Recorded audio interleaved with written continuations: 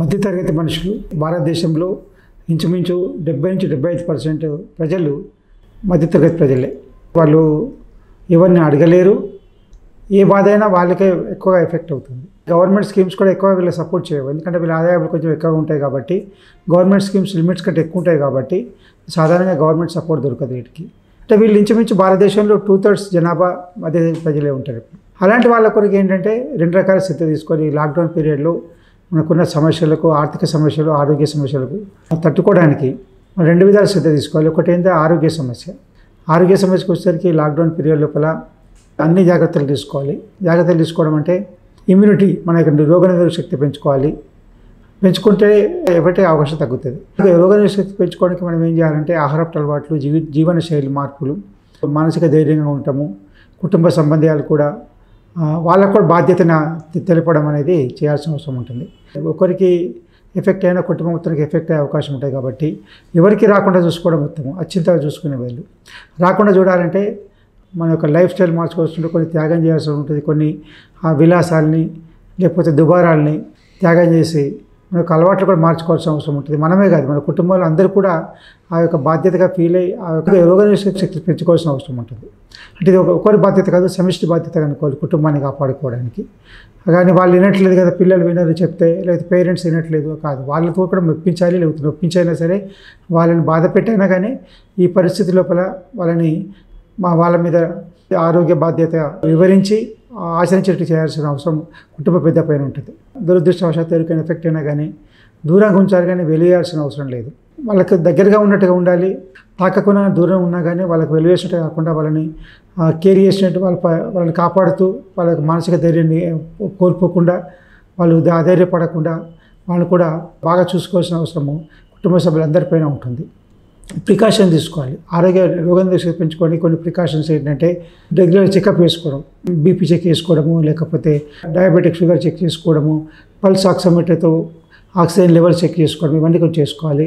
అవన్నీ ఉంచుకోవాల్సిన అవసరం ఉంటుంది మన ఇంట్లో కూడా. అవన్నీ చేసుకుంటేనే ఆరోగ్యం ఎలా ఉందని మనకు తెలుస్తుంది. ఆహారపు అలవాట్లు ఇష్టం లేని కూడా తినాల్సిన అవసరం ఉంటుంది. ఇష్టం లేని కూడా చేయాల్సిన అవసరం ఉంటుంది. ఇష్టం లేని జీవితాన్ని కూడా భరించాల్సిన అవసరం ఉంటుంది. ఎందుకొరకంటే మన యొక్క ముందు జాగ్రత్త కొరకు. ఆరోగ్యంగా బాగున్నప్పుడే మన ఆర్థికంగా బాగుండే అవకాశం ఉంటుంది. కాబట్టి ఆర్థిక భద్రత ఆరోగ్య భద్రత ముడిపడి ఉన్నాయి. ఆరోగ్య భద్రత ఉంటేనే మన యొక్క ఆదాయం పెరిగే అవకాశం ఉంటుంది మన యొక్క సమర్థత అలాగే పెరిగే అవకాశం ఉంటుంది. మన యొక్క ఉత్సాహం పెరిగే అవకాశం ఉత్పాదకత పెరిగే అవకాశం ఉంటుంది. అన్ని విధాలుగా మనకు బాగుంటాం మనం కాదు మన కుటుంబం కూడా బాగుంటుంది. ఒకరు ఇంట్లో ఒకరు బాగాలేకపోయినా కానీ అంత కుటుంబాన్ని కూడా మానసికంగా ఇది ఎఫెక్ట్ అయ్యే అవకాశం ఉంటుంది. ఇంకొక విషయం అంటే ఆర్థిక భద్రత. ఈ యొక్క లాక్డౌన్ పీరియడ్లో ప్రతి ఒక్కరు కూడా నగదు అనేది ఉంచుకోవాల్సిన అవసరం ఉంటుంది. ఎందుకంటే ఎప్పుడు ఎలాంటి అవసరం తెలియదు కాబట్టి మనది ప్రిపేర్ అయి ఉండడానికి నగదు కానీ బ్యాంకులో కానీ డబ్బు ఉంచుకోవాల్సిన అవసరం ఉంటుంది. దాంతోపాటు హెల్త్ ఇన్సూరెన్స్ అందరికీ హెల్త్ ఇన్సూరెన్స్ తీసుకోవాల్సిన అవసరం ఉంటుంది. అదే మాదిరిగా కరోనా కవర్ అయ్యేటట్టు కూడా తీసుకోవాల్సిన అవసరం ఉంటుంది. ఇంకోటి ఏంటంటే రావాల్సి ఉన్నా కానీ లేకపోతే స్టాక్స్ ఉన్నా కానీ వాటిని రావాల్సిన వాటిని కలెక్ట్ చేసుకోవడము స్టాక్స్ తగ్గించుకోవడము కమిట్మెంట్స్ ఇన్స్టాల్మెంట్స్ కానీ ఇంట్రెస్ట్ కానీ తగ్గించుకోవడము లిక్విడ్ క్యాష్ మన చేతిలో లేకపోతే బ్యాంకులో కానీ ఉంచుకోవాల్సిన అవసరం ఉంటుంది. ఎందుకంటే ఎలాంటి అవసరం వస్తుందో అవాంతరం వస్తుందో తెలియదు కాబట్టి దానికి ముందు జాగ్రత్తగా ఉంచుకోవాల్సిన అవసరం ఉంటుంది. ఎందుకంటే ఎవరో ఇస్తారు ఎవరో సహాయం చేస్తారని చెప్పారనుకునే పరిస్థితి ఇప్పుడు ఉండదు కాబట్టి మనం జాగ్రత్తగా ఉండాల్సిన అవసరం ఉంటుంది. క్యాష్ ఎందుకు అంటున్నానంటే మనం బ్యాంకులో కూడా ఒక్కోసారి ఎవరికైతే ఆథరైజ్ పర్సన్ ఉంటారో వాళ్ళ ఆరోగ్యం బాగాలేదనుకోండి వాళ్ళ బ్యాంక్ నుంచి తీసుకొచ్చే అవకాశం కూడా ఉండదు. వాళ్ళు వేరే వాళ్ళు వెళ్తే మనకు బ్యాంక్ నుంచి క్యాష్ తీసుకోలేము. ఇలాంటి పరిస్థితి ఉంటాయి కాబట్టి క్యాష్ మన దగ్గర ఉంచుకోవాల్సిన అవసరం ఎంతైనా ఉంటుంది. దాని ముందు ప్రికాషన్ తీసుకుని ఎప్పుడు దగ్గర ఉంచుకోవాల్సిన అవసరం ఉంటుంది. మనకు వచ్చినప్పుడు చూద్దామని అనుకోడు కానీ అశ్రద్ధ ఎప్పటికీ కూడా అతి శ్రద్ధ అశ్రద్ధ రెండూ పనికిరాదు ఆరోగ్యం విషయంలో ఆదాయం విషయంలో ఇప్పుడు కూడా రెండు అశ్రద్ధలు పనికిరావు. ఈ లాక్డౌన్ పీరియడ్ని ఆదాయ వనరు కూడా మార్చుకునే అవకాశం కూడా ఉంటుంది. ఎందుకంటే కుటుంబం మొత్తం కలిసి ఉంటాం కాబట్టి కొత్త ఆలోచన చేయడము కొత్తగా అయినా అవకాశాల గురించి ఆలోచించడము అంటే ఇవి ప్లానింగ్ చేసుకునే అవకాశం అనమాట మనం పర్ఫామ్ చేయకపోయినా కానీ ప్లానింగ్ చేసుకొని కొద్దిగా యాక్షన్ ప్లాన్ తీసుకునే దానికి కరోనా అయిపోయిన తర్వాత ఏ విధంగా చేయొచ్చు అని చెప్పిన ఆలోచన చేసే అవకాశం పెట్టుబడులు ఎక్కడ పెట్టచ్చు అనేది కూడా ఆలోచించే అవకాశం ఉంటుంది. దాని గురించి అనాలిసిస్ చేసి మనకు టైం ఉంటుంది కాబట్టి సెర్చ్ చేసి వాటి యొక్క పొజిషన్స్ ఎలా ఉన్నాయి ఎప్పుడు పెట్టచ్చు అని చెప్పి ఆలోచించే అవకాశం ఉంటుంది. సలహాలు సూచనలు తీసుకునే అవకాశం ఉంటుంది. మనకు ముఖ్యమైనది ఏంటంటే మనకు ఎట్టి పరిస్థితుల్లో ఆ రోగ పెరగడం ఒకటి అవసరమైనంత డబ్బు మన దగ్గర ఉంటాము రెండు. ఈ రెండు ప్రికాషన్ తీసుకోవాల్సిన అవసరం ఉంటుంది. మధ్యతరగతి హక్కుల కంటే బాధ్యతలు ఉంటాయి కాబట్టి వారే కాదు వారి కుటుంబం కూడా బాగుండాలనుకుంటారు కాబట్టి ఆ కుటుంబంలో ఎవరికేమైనా ఇబ్బంది కాబట్టి అలాంటి రాకుండా ఉండాలంటే ఖచ్చితంగా రోగనిరోధక శక్తి పెరగాలి. ప్లస్ అవసరమైనంత డబ్బు దగ్గర ఉంచుకోవాల్సిన పరిస్థితి ఉంటుంది. రిస్క్ తీసుకోకూడదు లైఫ్లో. కాబట్టి సీరియస్ పెరిగే సీరియస్నెస్ పెరిగే అవకాశం ఉంటుంది. పిల్లలకు కూడా ఎస్పెషల్లీ పిల్లలకు కేర్లెస్ ఉండే పిల్లలకు వాళ్ళకి ఎట్టి పరిస్థితుల్లో వాళ్ళు అడిగిన డబ్బులు కానీ వెహికల్స్ కానీ ఇవ్వకండి వాళ్ళని ఇష్టం వచ్చినట్టుగా తిరగనివ్వకండి. డబ్బులు ఇవ్వకపోతే వెహికల్ ఇవ్వకపోతే వాళ్ళు కంట్రోల్ అయిపోతారు ఆటోమేటిక్గా కానీ వాళ్ళకి ఇస్తానులే వాళ్ళు ఇష్టం వాళ్ళు ఊరికి అడుగుతున్నారు కాబట్టి ఇవ్వాలని చెప్పి మాత్రం ఆలోచన పెట్టకండి. పిల్లల్ని కంట్రోల్ చేసే పద్ధతి వాళ్ళు బాధ పెట్టినా పర్వాలేదు వాళ్ళు బాధపడ్డా పర్వాలేదు కానీ వాళ్ళకు ఎట్టి పరిస్థితులు వాళ్ళ మూమెంట్స్ కంట్రోల్ చేయాలి ఫస్ట్. ఎందుకంటే వాళ్ళ భవిష్యత్తు ఆరోగ్యంగా దెబ్బతిన ఆర్థికంగా దెబ్బతిన్నా కానీ వాళ్ళకే ఎఫెక్ట్ అవుతుంది కాబట్టి అలాంటి వాళ్ళ పిల్లల గురించి చాలా శ్రద్ధ చెప్పారు పిల్లలంటే వాళ్ళకి తెలిసి ఇరవై ఐదు సంవత్సరాల వయసు వరకు కూడా వాళ్ళ వాళ్ళకి తెలియని వయసు కాబట్టి ఆ పరి ఆ వయసు లోపల బాధ్యతలు తెలియ వాళ్ళకి. హక్కులు మాత్రం తెలిసే బాధ్యత లేదు. ఆ బాధ్యతల్ని ఎన్ఫోర్స్ చేయాల్సిన అవసరం పే కుటుంబ పెద్ద పైన కుటుంబ సభ్యులపైన ఉంటుంది.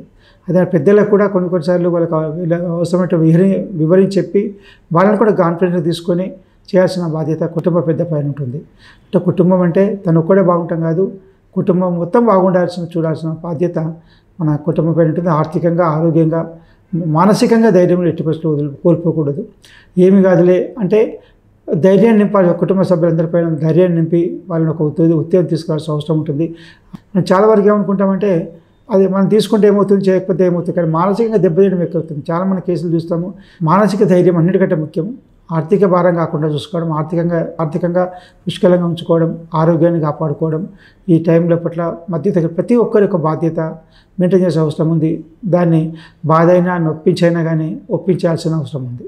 మధ్య చాలా వరకు ఏంటంటే ఎవరు సహాయం చేసుకోవడము సహాయం తీసుకోవడం తక్కువగా ఉంటుంది. అయినా కానీ ఎమర్జెన్సీ ఏమైనా అవసరం ఉంది బంధువులు కానీ మిత్రులు కానీ అవసరం ఉంది సహాయం చేసే పరిస్థితులు ఉంటే సాయం మళ్ళీ వారు రిటర్న్ అయిపోయినా పర్లేదు లేట్ అయినా పర్లేదు అనే పరిస్థితి ఉన్నప్పుడే సాయం చేయండి. లేకపోతే లేదని చెప్పడం కరెక్ట్ కానీ అంతేగాని ఇప్పుడు ఇస్తారు మళ్ళీ రేపు ఎల్లుండి ఇస్తారు రెండు మూడు రోజులు ఇస్తారు మనకు అవసరమైనప్పుడు ఇస్తారని ఊహించుకోకండి. అలాంటి పరిస్థితులు ఎట్టి పరిస్థితులు కూడా ఒకవేళ వాళ్ళకి ఇవ్వాలనుకున్నా కానీ ఇచ్చే పరిస్థితి ఉండకపోవచ్చు.